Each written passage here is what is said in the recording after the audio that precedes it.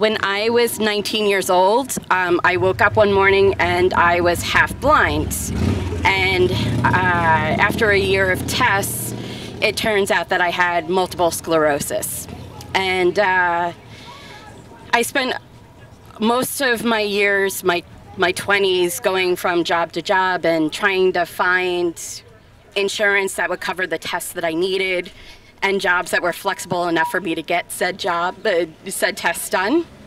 Um, and then the ACA came along and it was awesome because I didn't have to worry about that anymore. Um, those were protections I had for the first time in my life and it was, a, I could breathe again.